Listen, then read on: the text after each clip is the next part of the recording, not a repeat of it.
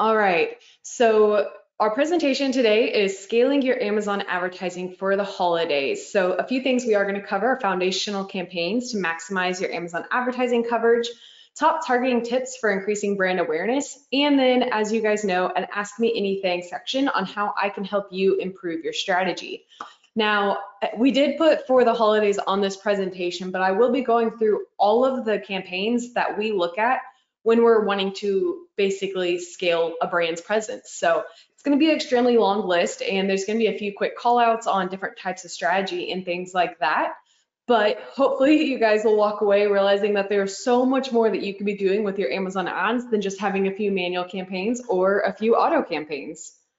So let's see here. Let me pull this chat box back up and make sure you guys can hear me before we go ahead and dive in. All right. Screen is not visible. Let me see here. If you guys can share my screen, can you guys please put a three in the chat right now? A few of you are saying that you are not able to see my screen. But we should be good to go.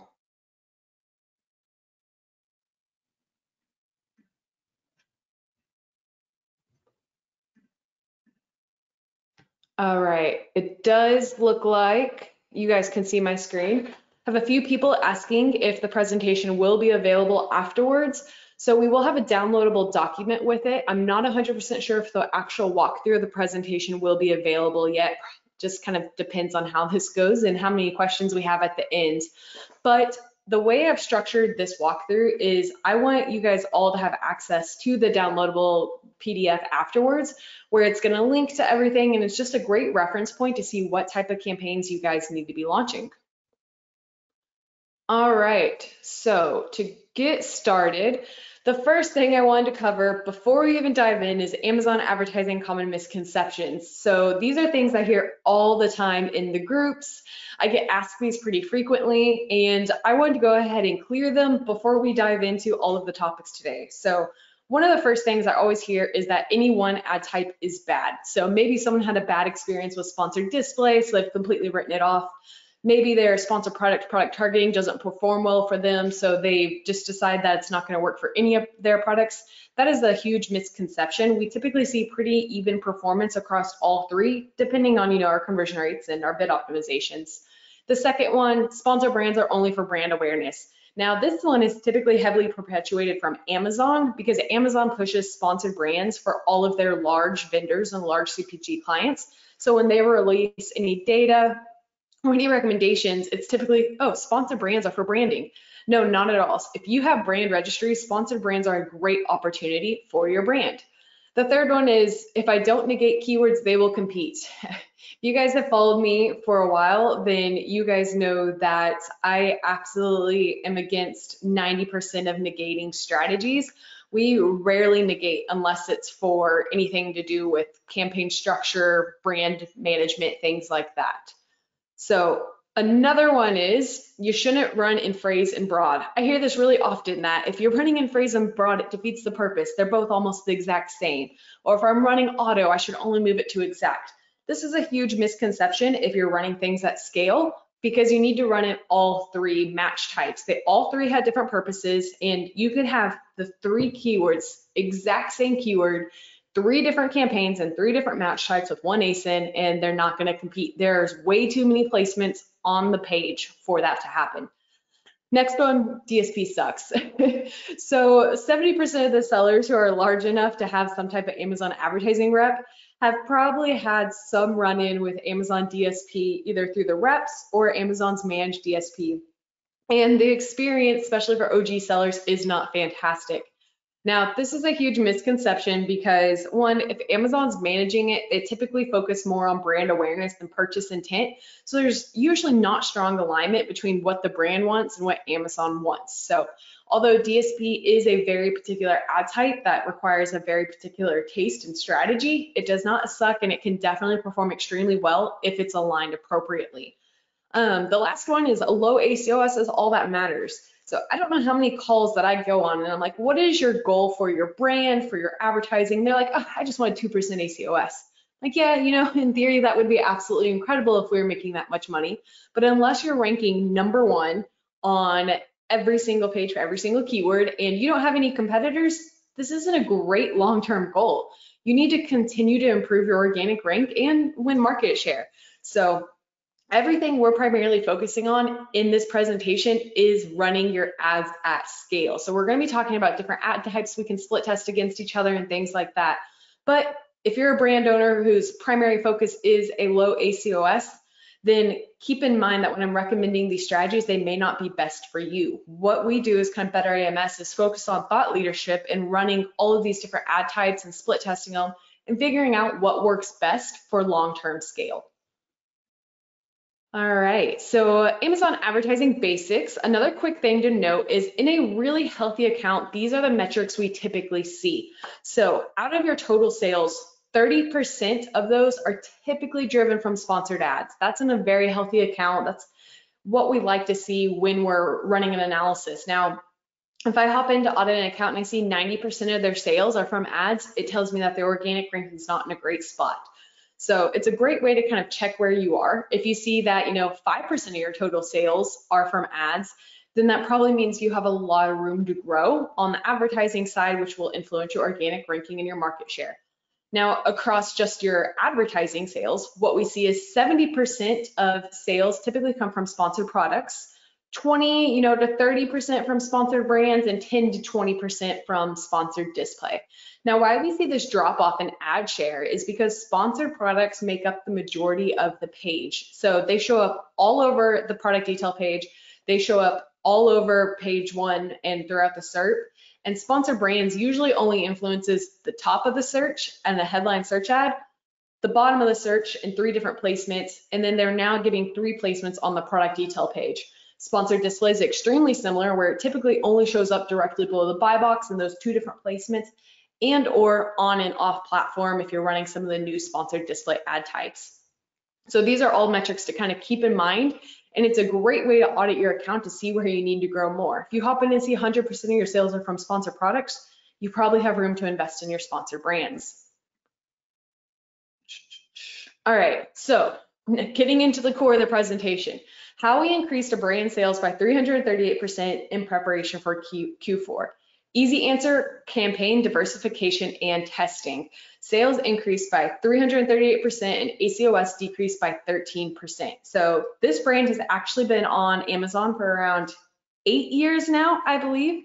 They're one of the original brands in their category and they've just been basically kind of running on what they've always known.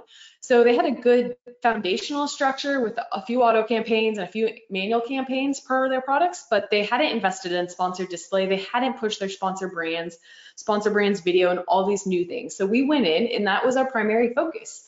We looked at all the long tail search terms and things like that, and we launched over 300 campaigns which help us see this increase. And then because we are diversifying their spend and testing these other ad types, we actually lowered the ACOS. Now, a few things to note here. This is a brand that had no heavy contingencies on spend or ACOS, which allowed us to go in extremely quickly and launch a ton of campaigns. If a brand comes to me and says, I want to lower my ACOS by 5%, guess what? I'm probably not going to be launching a ton of campaigns because that's going to increase your ACOS in the beginning, which is what we did. We had to increase it by 7% in the second month in order to lower it from year to date. So it takes a lot of testing and profitability and scalability must be balanced. So you have to keep these things in mind when we're going through all these ad strategies. You kind of have to analyze your market, analyze your product and figure out what's going to work best for you. All right, so let's start with basically how this is going to be formatted. I'm going to go through every single ad type. I'm going to have a list of kind of the different campaigns you could run and recommendations for them. Some of them are going to be redundant because, you know, both ad types, sponsor products and sponsor brands are at its core the same targeting. Sponsor brands video is the exact same. And we're just going to list out exactly how many campaigns you can be launching, and then I'm going to give quick tips on those. Again, this whole document is meant to be a reference for you to see where you have room to scale. So I wanted to have this in a really clean format just for you guys to be able to check into. And then any questions you may have, note them and I'll get to them at the end of the presentation. So sponsored product auto campaigns. One of the most basic ad types, everyone's aware of them. Anyone can run them. So if you guys weren't aware, auto campaigns are now broken out in four different targeting types, close match and loose match, complements and substitutes. Two of them influence search terms, two of them influence ASINs. So where that happens is if your ad shows up on the product detail page underneath an ASIN and sponsor products related to, then it's going to show up in your search term report with the ASIN you converted on, and it's going to be driven from a complement or substitute targeting. Now you also have close match and loose match, which is the same thing, but within the SERP. So for every single ASIN, we recommend running an auto campaign because it's evergreen keyword research and product research. So it depending on the account size, we will typically run, you know, two auto campaigns per ASIN, one focusing on search terms, one focusing on ASINs. Or if it's a majorly focused on profitability account, we'll launch four auto campaigns per ASIN. Now, the reason that we do this is so we can have more control over our scalability of our auto campaigns. So as you guys know, all of our budgets in Amazon advertising are at the campaign level. So when you look at something like this, where you have your multiple targeting groups, you can't control the budget of those specific targeting groups. They are all on the campaign level. So even though, you know, these are pretty decent ACOSs, I can't give it more budget because it's at the holistic level. So all my budget's probably distributed to substitutes because that's where Amazon thinks it needs to be. So it's a great way to have more scalability. And on the flip side, if this is an ACOS that is unacceptable, then I can lower my bid, lower my budget until loose match gets to 10%. And then I can scale substitutes and close match separately because they're in their own campaign. So that's one of the reasons we look at doing that. And it's a pretty basic principle, but a lot of people don't take the time to launch auto campaigns for every single one of their ASINs. So we love doing this because then we can constantly pull our search term report and collect a ton of data.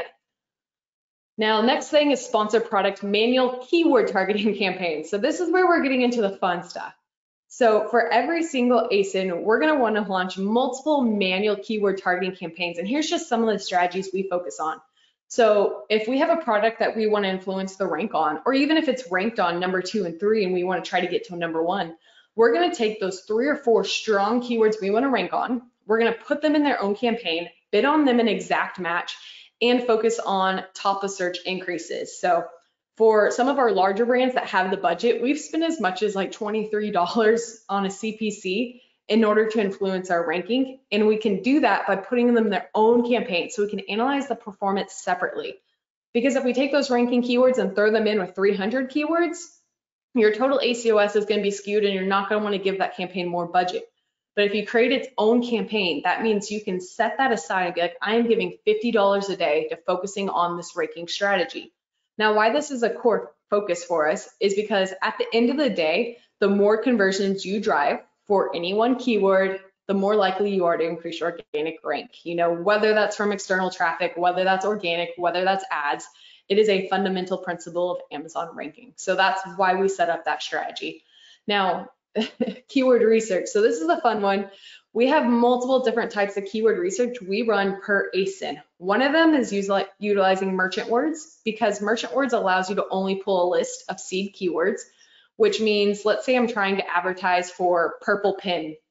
If I type in purple pin into MerchantWords, they're going to give me a list of search terms that include purple pin. So it's going to be like phrase match. It's purple pin for kids, for adults, purple pin for college, things like that. Helium 10 is great because it's going to give me relevant keywords based on set parameters. So as you guys know, you could go in and set different parameters to get relevant keywords. Um, brand analytics is amazing as well because you can pull directly from Amazon. So you can go in there and look at the data they're going to give you per ASIN from Amazon. So all of these are things that our different account executives use for keyword research methods. Now we do typically launch all of these keyword research methods by broad, phrase, or exact. So there's, you know, not a huge reason to do this other than exact match. It's typically your most profitable because your bid ops is able to adjust the bid directly on the keyword. So purple pin, you're only going to be optimizing the bid for purple pin. Now broad and phrase, you're going to cast a wider net and it may be, you know, purple pin for college students when in reality you have a little kids pin, things like that. So broad in its own campaign, we usually set a little bit lower of bids phrase in their own campaign, a little bit higher bids, and then exact match. So that's another really long list of keywords right there that you can be launching.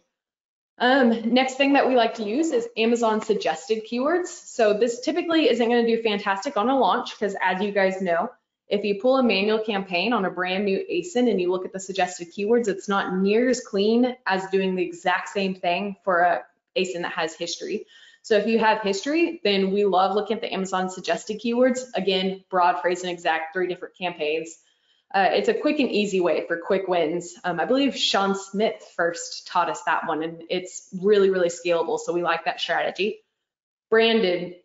So the reason I put phrase and exact is because if you bid on any of your branded terms in broad, sometimes you may show up for non-branded terms due to broad, broad match. So if I have something that's like Coke drink, I may show up for drink or Diet Coke drink, and that's not really that clean of alignment. So we bid on branded and phrase and exact.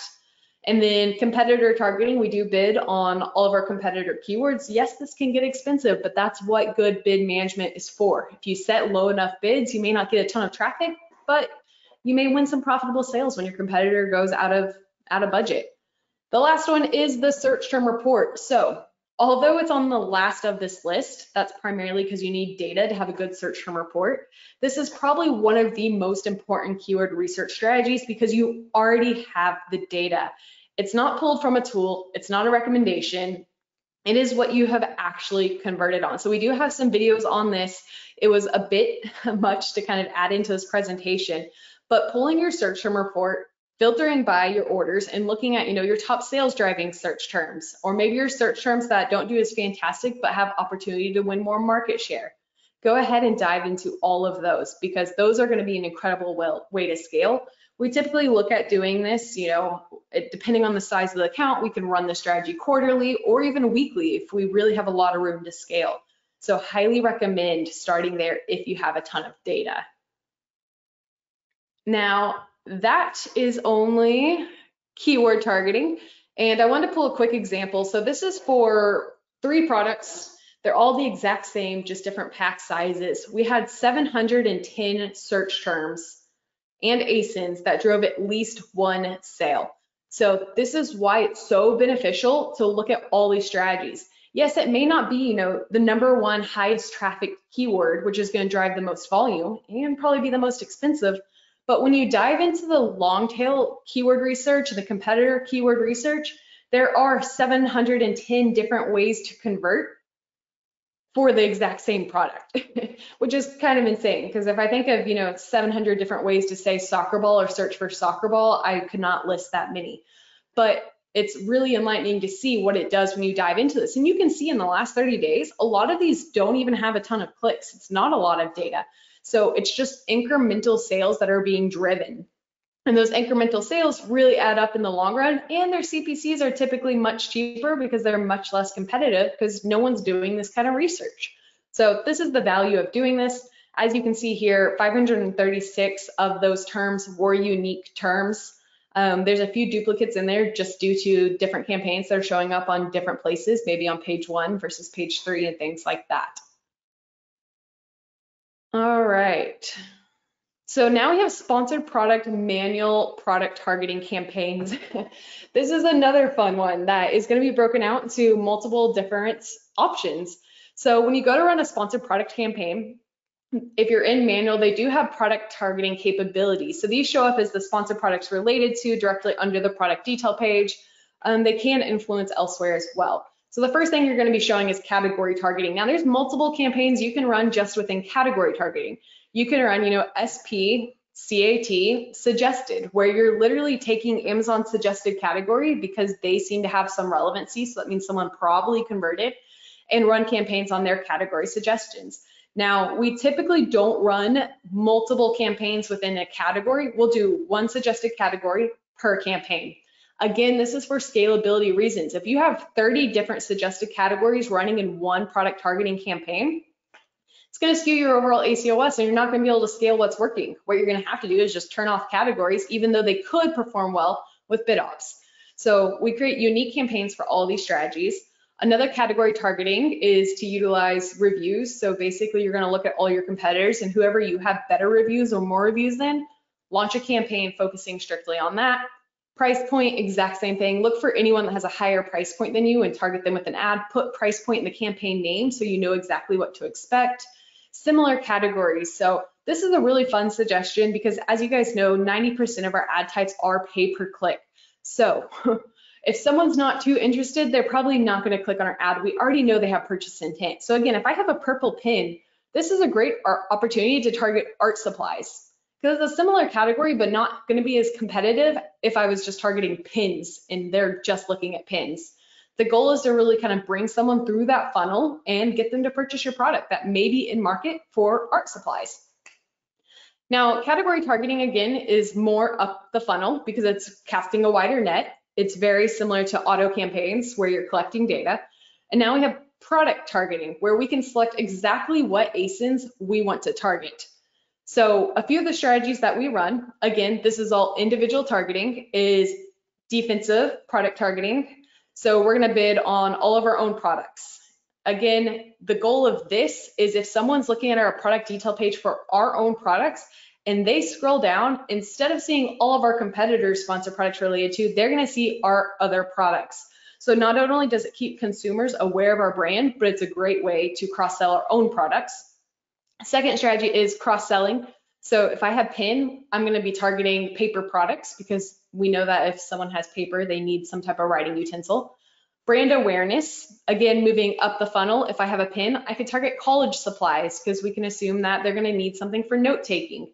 Now with those, you're gonna wanna have lower bids because your conversion rate's probably not gonna be as high because they're not as direct as someone searching for a pin. Top products, so this is a strategy that we utilize in Better AMS. We actually have a tool built out for this purpose, but what we do is we take one keyword and we're gonna scrape all of the top products on page one for this keyword, and we're gonna serve them with a product targeting ad. Now, the benefit of this is it's going to be usually much less cheaper than bidding on the number one keyword. But we're going to get the same benefit because we're going to show up directly below all of the products that are already winning for that number one keyword. So we're going to piggyback off all the traffic for whoever's ranking in one, two, three, four, and five. So this is one of the strategies we run at scale, and this is one of the strategies that does absolutely incredible during the holidays, which we'll talk about a little bit later. And then the last strategy again, search term report. If you have auto campaigns running, you're gonna have a lot of ASINs in your search term report. Pull them out, figure out what's converting well, and put them into a product targeting. So just with sponsored product product targeting, that's opportunity for nine campaigns per ASIN when you have them broken out this way. Now, again, we break things out this way so it's more scalable. If it's performing terribly within the first 24 hours, cut our budget, cut our bids, and collect data slowly. If it's performing well, we can scale it. You know, I would never recommend, like I mentioned in the bottom, throwing a thousand different products in a campaign or a thousand different keywords in a campaign and spending a ton of money up front. The benefit of Amazon is we can test small and scale as things perform better. So set low budgets and low bids. If you don't get impressions at your bid, increase your bid. That's pretty much as simple as it is right there. All right, let's see here. So here's another quick example. So this is one of the accounts we have. I pulled the search term report in the last 30 days. We had over 1,000 different ASINs that we converted on. So that is from different product targeting ads in the last 30 days. Again, a lot of benefit in running these. They're typically quite a bit cheaper. They can drive a lot of value if you're targeting the number one organically ranked competitor and you don't have to compete head in head to head for the number one sponsored product placement for your top keywords. Instead, we're going to target the people who are already there. So this is a really strong strategy. And again, it works incredible during Q4 or Prime Day or the holidays. So that covers pretty much the bulk of sponsored products. Quick tips here, it's all in the bid optimization. So some people are gonna be like, you know, I'm bidding on my competitor named Pepsi and we're just performing terribly, so it doesn't work. I'm like, well, yeah, you're not going to convert well in someone else's brand name. What you can do is lower your bid, and then you'll be profitable, even though you're not going to get a ton of impressions. There's a chance that they're going to run out of budget. And when they run out of budget, your bid's going to be the next lowest because it's an auction model. So you do have opportunity to win incremental sales. Another one, don't run multiple ad groups in campaigns. So I have a slide for this at the very end. Didn't want to go too in deep in depth with it, but we run one ad group per campaign for the exact same reason as the auto campaigns I walked through earlier. If you run multiple ad groups, you have no control over where your budget's going. Amazon has that control. So it's really hard to scale 10 to 20 different ad groups if they're all performing differently. Ideally, you take one that's 10% and you give it more budget, and you take one that's 70% and give it less budget. Doesn't quite work like that. So one ad group per campaign. Um, separate out branded terms. This is probably one of the, if not the biggest mistake I see with all of our large vendors and CPG clients. They have their branded terms mixed in with their categorical terms. So when you look at their ACOS, it's like, oh, it's a 10% on a categorical campaign. And I'm like, go in, click the search term tab, and I'm like, no, you're only converting on your brand name. So you're not actually driving new to brand sales. So if you're creating campaigns, put your branded terms in their own campaign so they don't skew your data. Because of course, if someone is searching for your brand name, they're probably going to convert and it's going to be a much lower ACOS.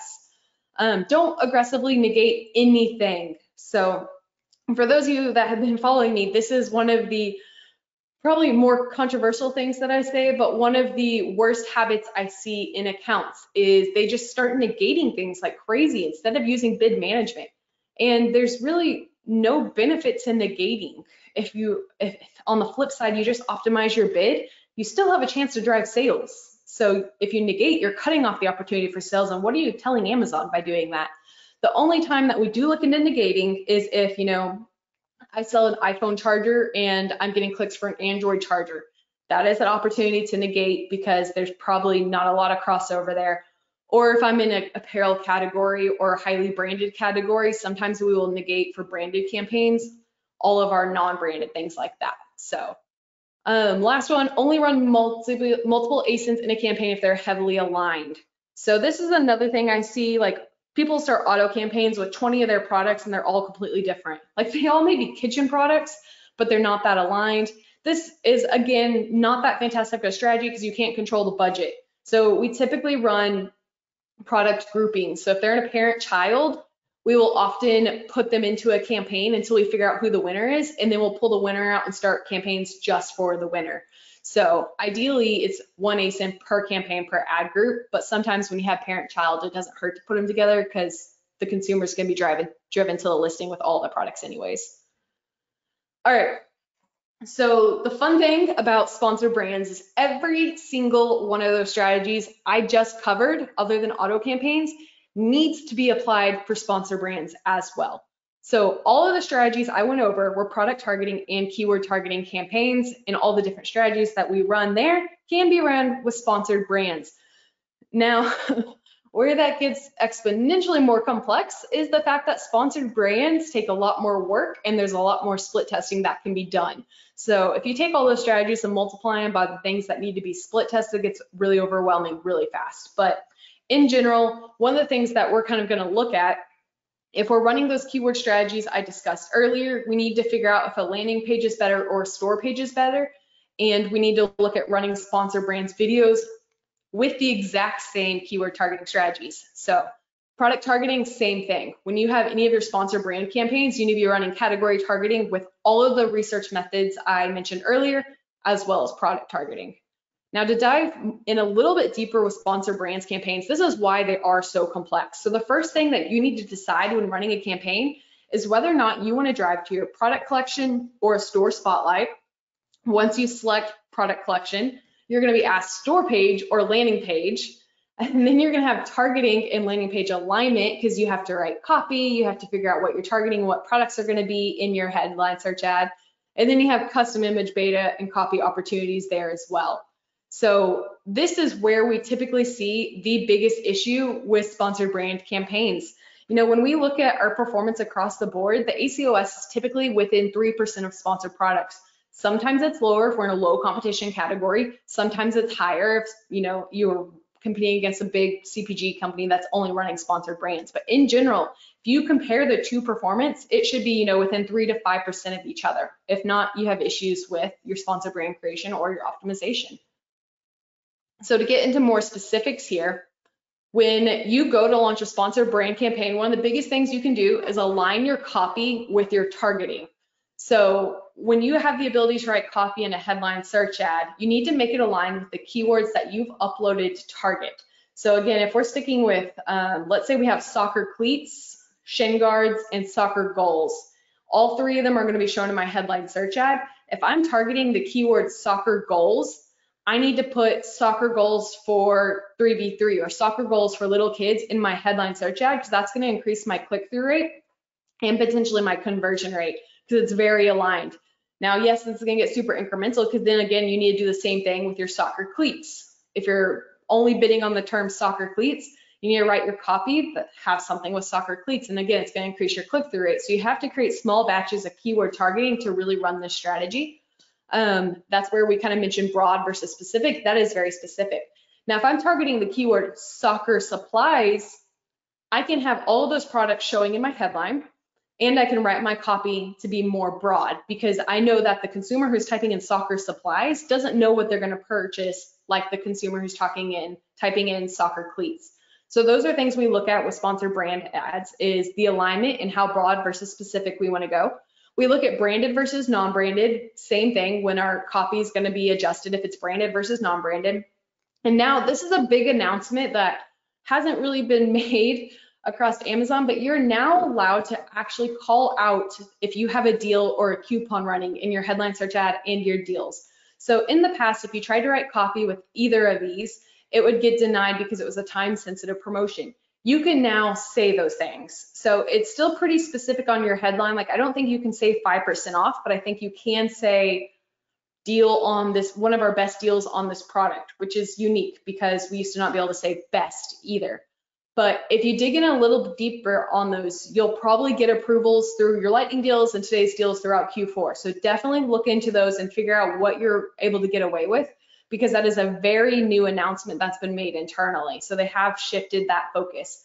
Um, one thing they did mention is you have to have your campaign running within the time frame of the deal, but we were able to get them running without an end date. So it just depends on how many time that you want to continue to resubmit those things.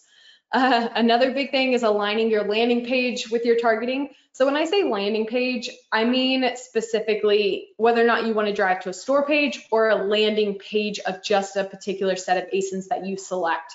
We recommend running to a store page if it's broader targeting. If someone types in vitamins and I have a store page full of all my different vitamins, that's a great opportunity to drive into my store page. You can cross sell, show brand awareness, and let them know what you're about. Now, if someone types in probiotic supplements, I probably don't want to drive them to a cluttered, complex store page. I want to drive them specifically to a landing page of probiotic supplements because that's exactly what they want. So that's some alignment issues that we typically see with sponsor brands as well. Utilize custom image beta. So this has been rolled out for around eight months. Originally, it was only on the product detail page, potentially in mobile is where we were seeing it initially. Now it's been rolled out to the headline search ads. So in the last few weeks, we have seen a major push with custom image beta being in the headline search ad. And I'm going to show examples of it. These are fantastic because they increase click-through rate, great opportunity to cross-sell your products with amazing lifestyle image, and potentially make them holiday related. but I'll show you some examples of that in the next few slides. Next one, targeting small batches of relevant keywords. We pretty much discussed that with our copy. If I'm selling a purple pin, my whole headline needs to be covered with pins, and then I need to target purple pin, have my copy purple pin. If I'm selling a blue marker, then I need to have very specific blue marker products in my headline search ad. Uh, run sponsor brands video. So sponsor brands video has been released since October. I believe we've driven over a million dollars worth of sales from this ad type alone. Now, the main issue in the beginning was it was only showing up on mobile. Now it's showing up in the very middle of search. It does incredible. It gets lots of impressions. It is still a pay-per-click model, and I'll talk more about that in a little bit. All right. So here's a great example of my copy that I kind of mentioned of making high alignment. So if I type in red hair dye, first thing you see, red hair dyes, cruelty free and semi-permanent. This is great because there's a lot of alignment. They're only showing their red products and they're showing a competitive advantage, all in 50 keywords. Now, some people throw their brand brand name in their headline search ad because I believe it's the, you know the misconception that sponsored brands are only for branded. That you're just wasting keywords at that point because you do get the logo and the brand name directly below. Men's sweatpants, another great example, men's sweatpants with zipper pockets. Now, if this exact ad was showing up for women's sweatpants, that would not be high alignment. No consumers would click on it potentially because if they typed in women's, they wouldn't want to see men's. So make sure that the keyword you're uploading isn't a list of 300 keywords because then you're not going to have alignment and you're just going to get wasted clicks or no clicks at all. So that's another good call out. All right, custom image beta. So uh, this is what that looks like live. This is what it looks like on the product detail page.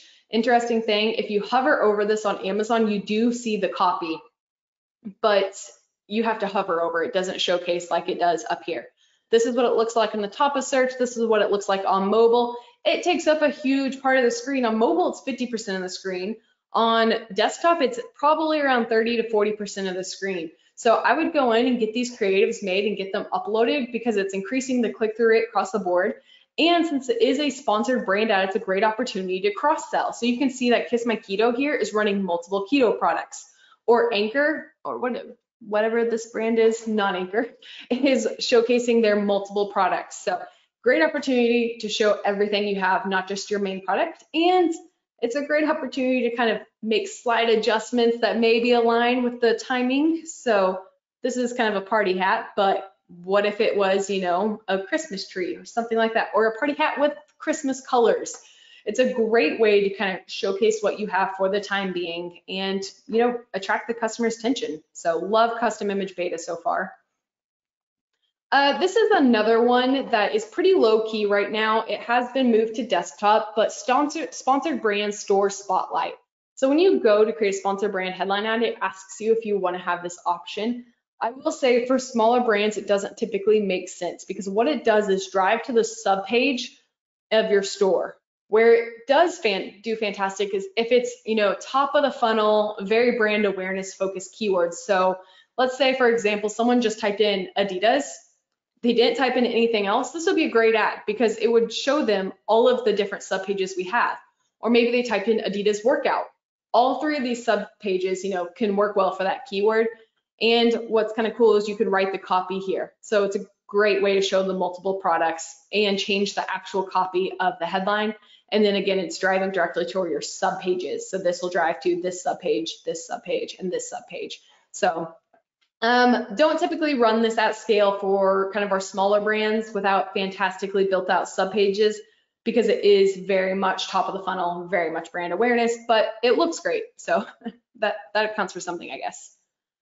Um, sponsor brands video and search. I'm going to run through this fairly quickly because I know it's a hot topic and you guys have probably seen a ton of webinars on this. But sponsor brands video is amazing because it shows up in the middle of search. We are seeing some beta rollouts of it showing up on the product detail page for large DSP brands. What that tells us is they're testing the placement and there is possibilities that's going to be rolled out to us, which means more impressions. Um, coolest thing about this ad type is it is pay per click.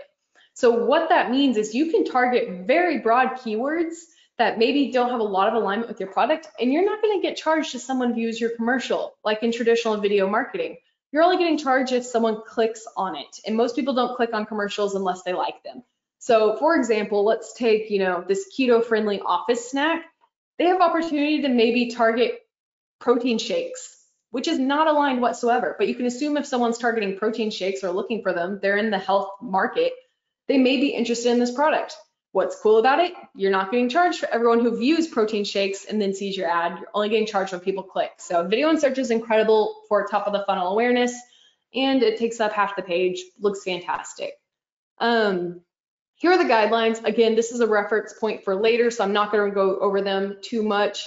Biggest callouts, it's a single ASIN landing page. So even though it's sponsored brands, you're only driving to one ASIN for now. Uh, it's been rumored that we're going to get the opportunity to drive to multiple ASINs or a store page, so keep that in mind. Um, we now have the ability to launch without sound. None of the videos autoplay with sound. So if you're having videography done, do not rely on audio. Uh, create multiple campaigns for different targeting types. So every single strategy I recommended earlier for keyword targeting needs to be ran with video and search. You need your ranking campaigns, your search and report campaigns, your Helium 10, your MerchantWords, your brand analytics, all those can be ran for video. If anything, you can be more targeting top of funnel traffic. So more aggressive with your video and search. CPCs are typically lower. Um, I think On average in our account, they're probably like a dollar thirty, but we're in some pretty competitive categories. For non-competitive categories, it's less than a dollar with fantastic conversion rates. Prepare and test now. Video is not going away. If anything, it's getting more competitive. So get your ads up and running ASAP. Plan for more creatives, more impressions, and more targeting types within video. All right. Let's see here. Sponsored brand keyword targeting campaigns.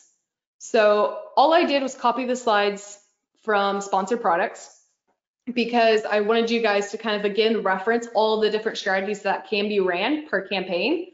And what's again more complex is all of these strategies can be split test with the different variables of copy, store page, landing page, video and search, all of those. So you can see real quickly how many campaigns this could get. So across video and you know regular landing pages, that's like an additional 32 campaigns right there. Now, again, are we going to go and launch 32 campaigns on an account that's focused on profitability? No. What we're going to do is analyze the market and see what we think is going to perform best. So if it's a large CPG brand, we're going to drive traffic to the store page.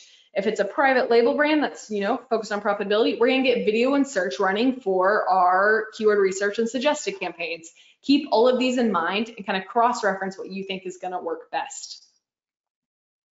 All right, product targeting campaigns, exact same thing we just discussed. This is not going to relate to video yet, but it is sponsored brand product targeting. So for the custom image beta showing up on the product detail page, run these strategies and target all of your competitors with a sponsored brand product targeting ad. One thing we have seen is if you go to the product detail page and you see the brands related to section, that has now been moved up occasionally above sponsor products related to. So they're definitely putting more pressure and basically getting more views to your sponsor brands product targeting. Key callouts, again, it's driving to multiple ASINs. Um, so make sure you have great copy that's broader and make sure you have a good custom image beta. Sponsored display. So this is another one that we can run through pretty quickly. Sponsored display is probably one of my favorite ad types in general and favorite ad types as we head into holiday shopping. What's cool about it, it shows up directly below the buy box in these two placements. It is not to be confused with DSP, although DSP does show up in these two placements as well and is very similar. Sponsored display is within your own advertising console. There are no minimums and you can run them yourselves. DSP is still a display platform, but you cannot run it yourself. You have to either work with Amazon or work with an agency provider like Better AMS and we are able to run them, but there is typically a minimum because we're paying for impressions with DSP versus sponsored displays 75% of the time pay per click. So this is where it shows up. It is a great way to win market share, which does absolutely incredible during the holidays because a lot of people are shopping around. So love this. Um, some of the campaign types we can run just for sponsored display. So you have your category targeting again which is suggested, reviews, price point. It's really no different than the other targeting types. Product targeting, again, exact same strategies. But we also have audience targeting with sponsored display. What's amazing about this is it's a great way to dip your toes in with DSP. What's not as fantastic about it is it's typically more brand awareness. So if anyone searches, you know, for a product similar to ours, we're going to get served an ad. If anyone views our product, we're going to serve them another ad. If anyone purchases our product, we're going to serve them another ad. So there is a lot of opportunity for these to do incredible, but they are more top of the funnel. So for these three, we typically start with lower budgets and lower bids and kind of dip our toes in. For these, you have the search term report data. You have the data from your sponsor product, product targeting, sponsor brand product targeting. Pull your search term reports and figure out what you should target. Again, the benefit of them is that they show up here rather than here. Sponsored products show up here. Sponsored brand product targeting shows up below it. Sponsored display product and category targeting show up here, which is absolutely incredible because it's directly below your competitor's buy box. So if you have a price point advantage, a better product, you know, better reviews, run these ads. We do have the opportunity again to write copy. So we'll get into that in a little bit but you can now add copy again to your product display ads, which means you're able to showcase a competitive advantage throughout your copywriting, which is really cool. Now here's kind of a quick way, again, for a reference point. If you're going to run sponsored display, know that purchases, individual products, categories are more purchase intent. Searches and views are more for awareness. So expect, you know, your highest ROAS probably down here, lowest ACOS. And as you move up the funnel, performance isn't going to be as fantastic because you're trying to make people aware of your brand. Oh, one second. Um, here's a quick screenshot. So I've mentioned this a few times. Sponsored display does incredible during the holidays. One of the top performing ad types across the board during the holidays. And it's because we can piggyback off of everyone else's traffic. Anyone goes out of stock, run a sponsored display ad on their product. So that way, even though they're looking at the listing that's out of stock, they're going to see yours directly below. Target all of your top competitors because people are window shopping. They're looking for different brands that they may like more. They're not just going to click into a listing and purchase. They're going to, you know, compare price points. They're going to compare color variations, things like that. Highly, highly recommend these during peak shopping times. They do amazing. Um, sponsor display quick tips. Use your current data again. Anything in your search term report that starts with B0 is something you've already potentially converted on. Filter by top sales, filter by what's driving a lot of value for you, and relaunch these in sponsored display. If you launch sponsored product product targeting, sponsored brand product targeting, sponsored display product targeting, they're not all three going to compete. What's going to allow you to do is win more placements on your competitor's product detail page, uh, create unique campaigns for targeting strategy. Again, like we mentioned below, don't just upload a thousand different ASINs into a product targeting campaign. Create unique campaigns for strategy. Utilize the copy feature. It does amazing. You don't have to put it on there though. And I will say sometimes there's formatting issues with the ad if you do use the copy feature. Still not cleaned up. Uh, utilize the new features to move up the funnel. So we now have basically more control over our remarketing. So that is a great feature to look into your account immediately. Our director of DSP, Kyle, actually found it in accounts, I think like 48 hours ago. And it's very new, but it allows us to have more control. And finally, this is a great way to dip your toes into DSP. So again, for those who have had bad experiences with DSP or for those who aren't familiar with DSP, DSP is shopper marketing. At its core, everything we do within advertising console is just advertising. We're basically selecting keywords and products we want to show our ads on. DSP is utilizing shopper, shopper marketing. We're looking at buyer behavior habits. We're looking at, you know, different contextual targeting. We're looking at competitor analysis, and we're going to target every single competitor who views this person but doesn't purchase. All these complex situations. We're getting some of those opportunities on sponsored display, so it's really allowing us to dip our toes in there. So it's a great way to figure out, you know, how well you're converting on some of these more top of the funnel ad types. Um, holiday quick tips. So after taking a look at everything we have here, the biggest thing I can do is basically have like go through your advertising console and have a quick analysis. Look for your top keywords. Do you have one competitor that's paying $20 a click for the number one headline search ad? If so, you probably want to run sponsored display on that competitor because you know they're getting a lot of traffic for running that headline search ad. So take all the tips that I kind of recommended, figure out where you have holes and gaps in your ad strategy and try to fill them. Again, start with low bids and low budgets and scale once you have data. If you take all these strategies, launch 50 campaigns, set $100 a day budgets, it's going to get expensive real fast and you're not going to have enough time to collect data. So start slow. Um, quick tips for specifically for the holidays, adjust copy for your deals and promotions. Like I mentioned, we now have the ability to write holiday and promotion specific copy has not been widely announced create specific headline search ads just for this, drive them to, you know, a deals page you have on your store, product targeting everywhere. I've mentioned that like 17 times, I think. Holiday specific imagery where allowed. What I'm pretty much referencing here is custom image beta. You cannot say happy holidays. You could potentially run a imagery with green and red graphics. Run DSP or remarketing to take advantage of all your ad spend. This is this is a specific recommendation.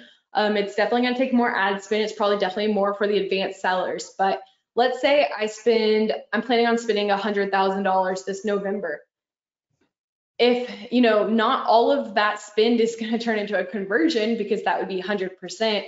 What we want to do is take advantage of that ad spend and remarket every consumer who views our listing. So we're taking 100K and using it to drive traffic to our listing any consumer who doesn't convert is a loss. If we're running DSP or sponsored display remarketing, we can make the most of it and basically take that consumer data and continue to show them an ad.